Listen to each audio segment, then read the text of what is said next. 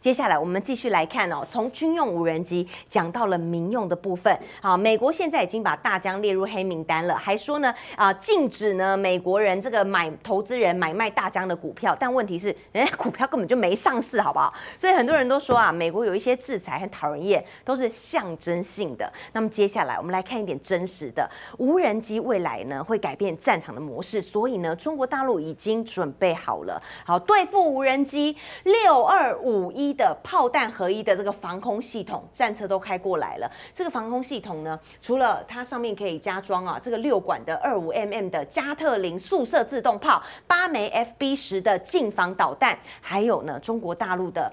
有在做外销的飞弩十六，还有红鹰六 B，据说呢，它可以用来对付哦，就是差不多这个半径三到四公里内的直升机巡弋飞弹、自杀无人机，还有一些这个低飞的无人机，通通都可以被消灭。对，这一次这个俄乌战争里面哈，他们发觉哈，其实这个近距离的接战武器非常重要。那么还有一些新的，就是说无人机在战场发生了极大的作用，不但是哈征收。产生大作用，另外它也有攻击的效果。那所以就是说，现在这种对付这种哈近战、近近短短距离接战的武器哈，现在变成这个哈武器市场大家很重视的这种武器，尤其对于这种哈呃无人机、各种侦察无人机或者哈攻击无人机，还现在还有自杀无人机。对。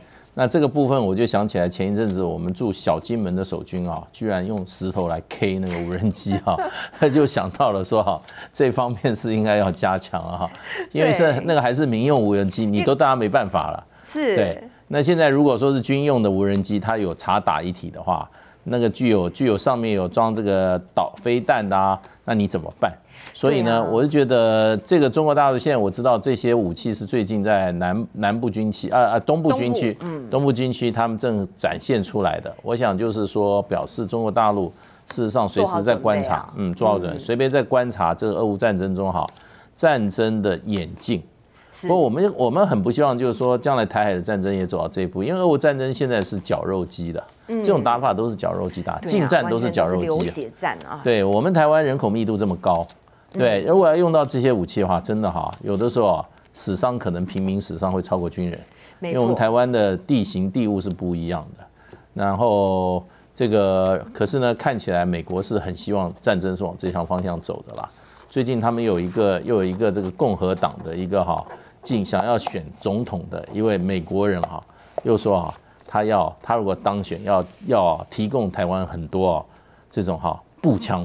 哦，又在开支票，要开始啊，就跟上一次那个，而且我们要步枪干嘛？有。使用到步枪不等于敌人已经来到我家门口了吗？他希望我们男女老幼都会打步枪，所以到了一针，你到底可能要去练步枪了。好可怕哦！这让我想到了真的乌克兰战场，大家看到血淋淋的教训哦。好，无人机呢，我再帮大家做个总结。美国最近哦也有在研发哦，像这种镭射的，美国陆军就证实了，他们整合在史崔克的八轮装甲车上呢，有五十千瓦功率镭射的这种叫做导能机动的。短程防空系统，好，主要呢，也就是来打这种无人机啦，或比较近距离的。之前呢，在 Arizona 的有马试验场已经测试啊，击落多小大多架大小各异的无人机。好，未来呢，来看到这一束光呢，就是它的镭射了。说呢，要来看能不能对这个火箭炮还有迫击炮产生威慑。好看完了美国，好，我们看完了军武，接下来呢，我们继续来看。很多人都说美跟美国做朋友，跟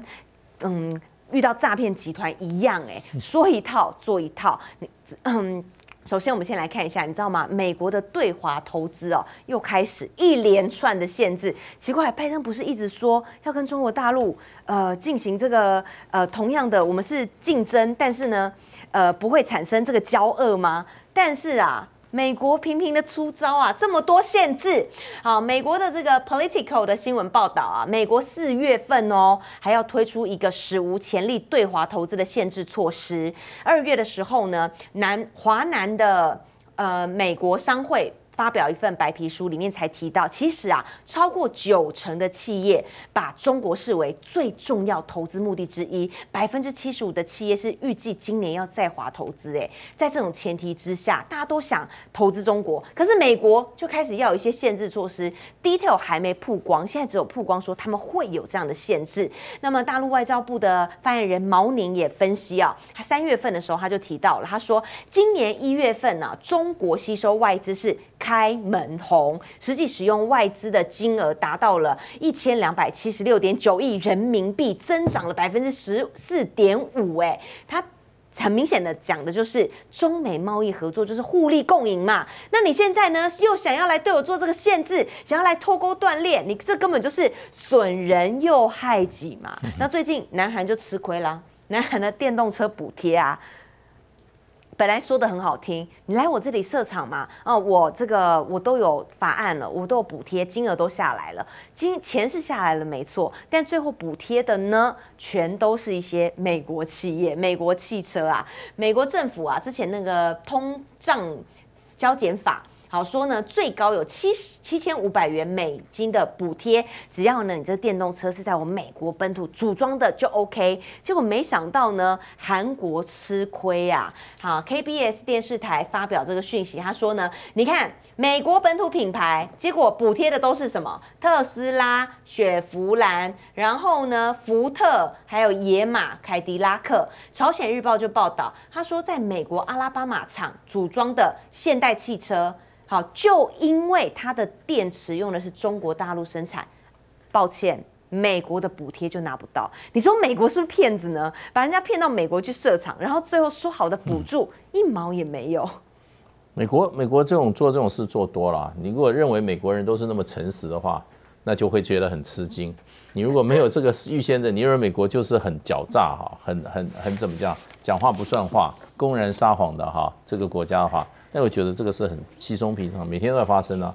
它这个汽车补助啊，它是补助购买者，就是呢，它会指定说这些车子，你买这些牌子的车子，我一个车给你多少，我就给你多少七千五百块钱美金，是不是给十六款购车者的这个哈？那可是他就说为什么选这些车子？好啊，里面没有中国元素，没有这个没有，我就不相信 Model Three 跟 Model Y 它里面没有中国电池成分，对不对？这都认定的问题嘛，对。这个这个特斯拉车子主要是在中国大陆生产的，我就不像它有很多，它里面找不到中国元素、中国零件啊。那这个韩国的话，问题就是说，基本上它给的通通是美国本土的，欧洲的它也会给，因为欧洲的话对这个案子啊也是抗议的非常非常的这个非常非常严重。那这种这种哈，就是说补贴美国本土品牌的酒基本上就是贸易保护主义。对。那将来欧洲车子也受，可是呢，因为欧洲现在它有实力跟美国在谈判，所以我认为美国可能会对欧洲车放水。可是呢，韩国就是一个小弟，没有 没有跟美国人叫板的。胆子也没有，也没有那个实力哈，所以现代被牺牲啊，那是理所当然。美美国一定是觉得你这个韩国，你抗中不够力。好，逼他要再硬一点，逼尹锡悦哦。只是呢，现在好像真的哦很多国家，还有包含了欧洲，想要摆脱美国的束缚啊。好，那个二十一岁小兵的泄密们呢？好，他提到了美国持续在监控联合国等高官哦。哇，现在不得了了，联合国也出来骂了，骂指责美国啊，罕见指责哦。他说此类行为不符合美国在联合国宪章的规定的义务。你来看看冯德莱恩访之后跟马克宏到了中国一趟之后，回到欧洲，告诉大家什么呢？与中国的关系太重要了，欧盟必须要制定自己的对华策略原则。美国消费者的新闻网频道 CNBC 也分析啊，欧盟试图推动新的联合对华策略。他说，但是这种策略啊，美国很讨厌，美国会啊不开心。我觉得美国真的，你今天盘点一下哈。美国有限制自己的厂商跟中国大陆做生意吗？没有吧，很少吧。我觉得他今天叫 ASML 不准不准卖光刻机。你看美光，你看那个 Intel 跟中国大陆的交易有减少吗？美国的这个半导体器材有有往少往中国卖吗？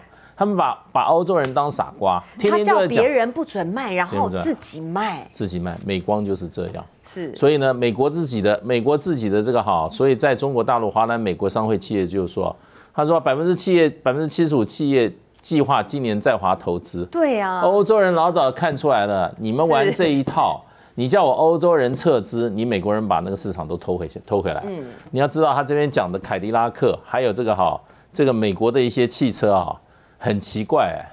全世界没有没有一个国家喜欢，就中国大陆消费者喜欢凯迪拉克跟别克在美国大卖。中国大陆是大市场啊，大市场，他们这些车子在欧洲我没看到一台凯迪拉克，我在台湾现在很少，台湾街上你有看到凯？哎，很少。这个只有只有中国大陆有，所以美国它会退出中国大陆市场才怪。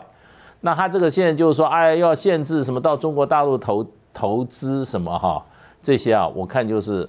用来糊弄欧洲的，欧洲人跟进以后啊，然后美国人就把市场统统抢过来。没错，尤其是怎么有办法摆脱中国大陆呢？中国大陆不止市场大，而且呢，GDP 的增速啊，还可以提振全球信心，哎，领头羊的作用。我们先来看一下中国大陆的经济优势啊，包含了四月十八号，美国财政部长耶伦呢，他就就中美经济关系发表了一个演讲，他说啊，寻求公平竞争的经济关系，还有呢，跟中国合作应对气候变迁以及债务困扰等等。再来呢？中国国家统计局也公布了，今年呐第一季度中国 GDP 同比增长百分之四点五哦，比去年四季度增长了百分之二点二，领头羊的信心来了。大陆的学者怎么分析呢？这个大摩的中国经济学家他说啊，今年中国的经济对全球的增长贡献率有望超过百分之四十，这已经要接近到世界的一半嘞。二零二三年呢，是中国和亚洲经济。引领全球的时间，甚至啊，未来金砖国家对全球增长的贡献，各位超过美国带头的 G7。对，这个是一个大趋势，就这样走的。这个这个没有办法，因为俄乌战争，美国把欧洲打趴了。嗯，所以你这个你这个 G7 里面里面有一半是欧洲国家，你自己把欧洲的这个能源成本提高了四到五倍。所以欧洲的经济比美国还惨啊！所以为什么冯德莱恩讲这些话？他们真的深受其痛。然后呢，发觉跟着美国走，俄乌战争在欧洲人家门的战争，欧洲人不能出来喊停止，美国人说要继续打。然后呢，在这个打的过程中，你不能跟俄罗斯买天然气，石油也不能买，整个能源价格提了四倍。只能买贵的美国货。你成本你成本增加了四倍，你还有什么贡献？你还有什么竞争力啊？没有了。那另外一方面就是中国大陆这个经济来讲的话，第一个疫情处理，中国大陆停工封城的时间非常短，上海三个月而已啊，是对不对？其他都没有封啊。整个整个现在它只是消费比较断，现在国内市场消费再回来。它的整个没有中断的一个经济运作，很快回来就变成世界的一个哈，世界经济增长的一个引擎。美国现在怎么样呢？美国债台高筑，然后呢，金融市场快快，金融市场出现大问题，然后呢，他的盟友也跟着很惨。他不要讲投资啊，中国大陆根本就不必不必担心美国去不去投资，现在。很多世界的资本正在往亚洲走，为什么？第一个，你经济成长率好，经济成长好；第二个，美国金融体系快出问题啦，美元现在说实话能够撑不撑得住都是问题了。那这些很多把钱存在、投资在美国的，尤其在这个金融市场里面，钱是不是都要投出来了？抽出来往哪里走？就往香港、往新加坡走嘛。所以过去三个月，香港跟新加坡进来大批的这个这个世界各国的资本。那会怕你美国的什么房子投资啊？这些要找赚钱地方的钱。全世界多得很，不是只有你美国有啊。所以啊，呃，这个意思啊，我帮大家来做个小总结啊，就是说美国啊这些报道啊，又要开始有什么限制，搞不好呢，它只是一个象征性的，只是要说给他的选民听的啊。我现在拜登政府，我还是有持续在抗中哦，我不是我不是只有跟中国做生意哦。但这就是呃，习近平主席之前常常讲的嘛，不要这个吃中国的饭，然后呢砸中国的碗啊。接下来呢，想砸也没这么容易。IMF 国际货货币的基金组织呢，它分析啊，中国在五年之后，二零二八年会发生什么事呢？中国大陆啊，会为全球的 GDP 增长贡献百分之二十二点六哦，全球经济的火车头会成为中国，美国只贡献百分之十一点三，等于是除以二，哎，大使你怎么看？我这个非常非常清楚，比如说啊。今年中国大陆今年两会以后，李强出来做总理。李强，人家说，哎，这个李强是谁？李强很简单啊，做过上海上海市委书记，做过浙江省省长。他处理的这些都是中国开放这个经济发展最发达的地方，管理的人口数上亿啊。他这个经验多丰富啊！他跟他跟特斯拉的那个那个马斯克是好朋友啊。嗯，对，当时特斯拉去找他就是。李强在上海就是不到一年就给他一个厂啊，所以他非常对经济非常娴熟，而从基层干起来了。美国的那个雷蒙多是怎么来的？你知道？美国雷蒙多就是参选议员，然后呢，后来突然又选上一个小州的州长，叫这个这个这个美国东北角一个小州的州长，然后突然呢，拜登上来觉得哎，提升他为部长，就马上就变商务部长，根本。小学程度就去做做那个做那个做那个大学程度要做的事情，是搞得好吗？对不对？另外一个，美国这些所有政策，今天拜登不选了，拜登这所有政策通通没了，嗯，对不对？明年如果说这个哈，川普回来的话，拜登的东西全部都不算话。这就是美国。中国大陆怎么弄呢？中国大陆“十四五”计划，那五年。连要发展多少个项目的这个好所谓的充电桩数目都写好了，每一个省大家都分配好了，你给我达到目标，都是数字管理。然后我要做多少高压电，我这个南水北调要怎么做，这都是要一二十年的这个这个这个过。中国大陆政策非常持续性，是，然后政策目标非常稳，然后呢，习近平现在人事也摆的都是很有经验的人，目标也都在那里。也没什么要做事就去做了，没有什么今天这个民主党做事，共和党在扯后腿，没有啊。所以你说今天中国大陆 GDP，人家花旗银行这个做生意的会讲说，干嘛把你吹到六点一，对不对？他也是实事求是弄出来的。对，只有美国现在这个政治人物就是通通讲空话，假大空就是美国的政治人物。那个那个雷蒙多做美国商务部长。天天整中国大陆，居然还说我要去中国大陆访问，是不是讨打吗？可是，可是呢，这种美国的政治体制下来，就出来这些这么很很荒谬的这种政治人物。没错，对啊，所以这个这个这个基本上，我认为哈，这些都只是一些现象，真正的问题就是说体制出问题。美国的体制就是往下垂着，中国的体制就是往上走。没错，中国呃，美国也算是自曝其短了，因为他们的政策这个动荡啊，你看川普啊，说退出什么组织就退出，好退了又想加，加了想退，好各世界各国也看清楚了，尤其是最后一点点时间呢，呃，德国的大众集团哦，先前呢不是才访华吗？马上宣布要来投资了，七十五亿人民币在中国要盖纯电动智慧网。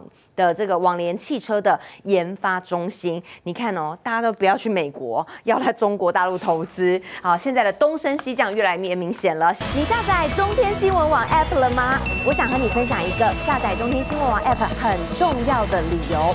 专家说，美国要把台湾乌克兰化，用大陆打台湾来牵制大陆发展，这些绿媒不会告诉你，中天会。如果你不要战争，要和平，你需要正确而且权威的国际资讯和情势分析，请立刻下载中天新闻网 App，和我们一起守护台湾。多一个下载，就多一分力量。